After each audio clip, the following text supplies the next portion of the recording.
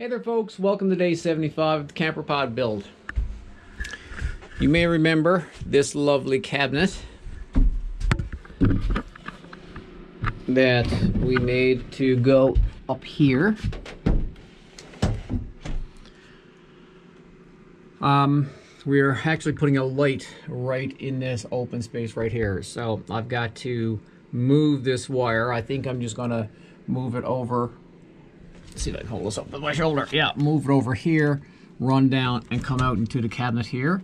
So I'm gonna have to drill a few holes. And this wire is a little short. Not quite sure what I'm gonna do there. Hopefully I'll have enough slack on this side so that I can move the entire wiring harness over because this wire here should be actually going on the other side of this. When I get that done, I think I'm to be testing the wires and then maybe just checking all these ribs for anything that might be proud that I might have to uh, might have to trim down with the uh, with the plane.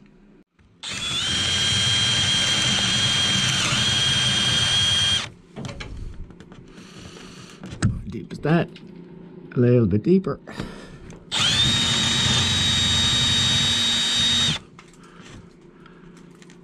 It should be fine.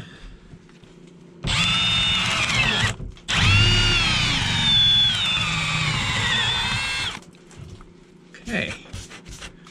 That should be good.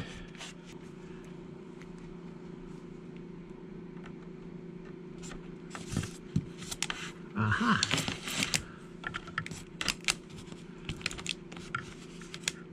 Okay, perfect.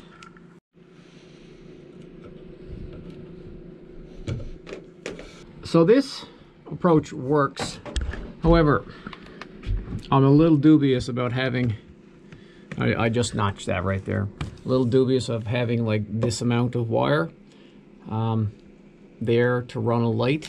So I'm gonna run a new, uh, new circuit here. I'll reuse, uh, and, and this I wanted a bit long for over there, so I don't have much, much wiggle room here. So I'm to run a new set of wires. I'll reuse these later. It's not like I'm to waste it. Uh, and so I'll have the appropriate length here. I may even give myself a little bit more length here and a little bit more length up here just to, uh, just to be safe.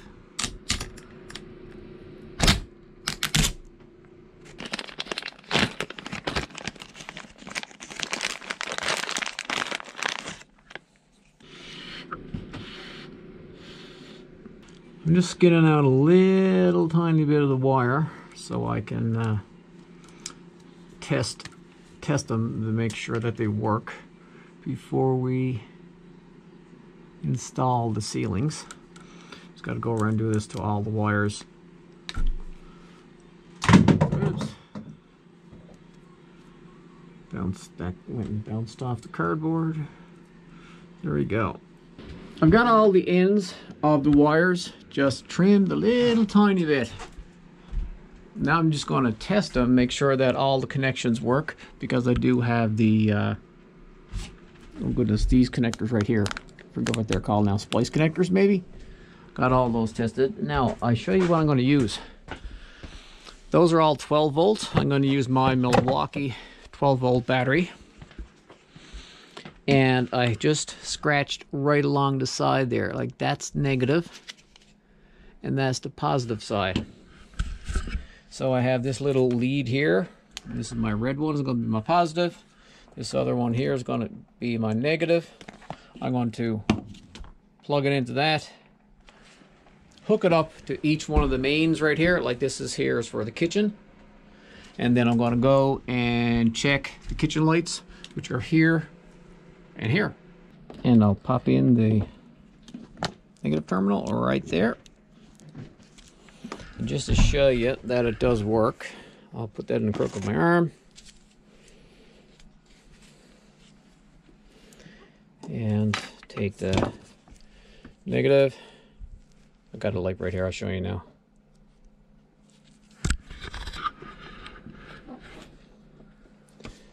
And Oops. Blocking with my hand. Here we go. So it does work. So I've got the battery hooked up to the kitchen here. let me just go check. Okay, this is the kitchen. Black on black. Okay, that one works. And this one up here. Black on black.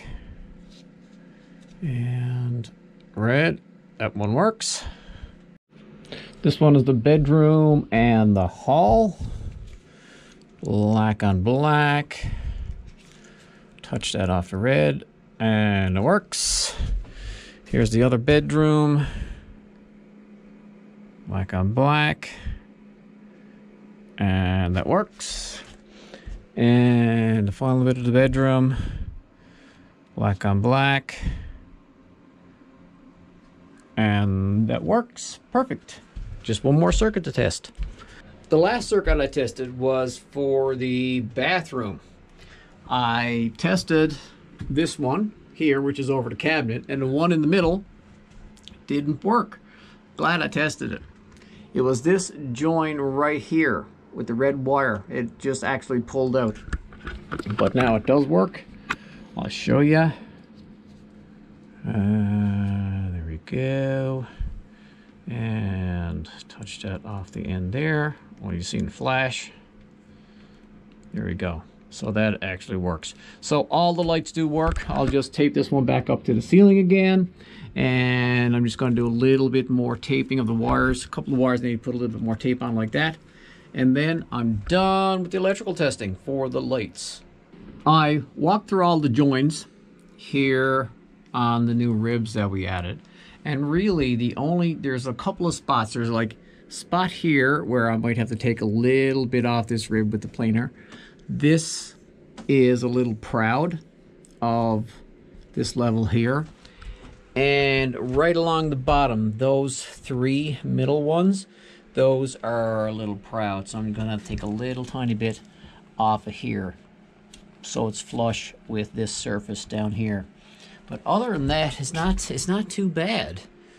In addition to working on the camper today, I've been testing our new power source the uh, ALLPOWERS S2000. Okay, that one's done. I've got all those trimmed. I also went and looked at those edges right there where the, see if I can get the light, there we go. Right here where they intersect with the curve. Some were a little proud, so like, uh, like this here. I just put the chisel to that just to make it an easy transition from from, uh, I guess, square to curve. And it seems to look pretty good. Well, that's a wrap for day 75 of the camper pod build. Tested all the lighting. Had to rewire a little bit there because something was a little hinky. I trimmed up all those along the bottom there just to make sure it's a nice transition. And I also um, did some testing of our S2000 ALLPOWERS uh, power source. I was recharging out there now. So that's it for today. So the next piece, I uh, there's nothing to do besides the ceiling. And what I'm thinking is that we'll do this side first because 36 inches, that's wide the panel is, will come to about right there just overlap. And coming the other way over 36 inches, it comes to, to right there to the left of my finger. That's probably what we'll do. And then we'll end up putting maybe a uh, piece of aluminum down the middle there just to hold it all in place and probably VHB tape. So that's to be determined. So that's it. Again, wrap for day 75. Thanks for watching and we'll see you in the next video.